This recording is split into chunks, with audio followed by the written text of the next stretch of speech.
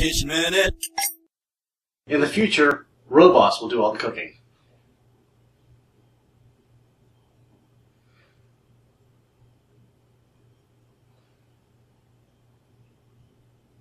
I'm Chris, and this has been your Kitchen Minute. Kitchen Minute.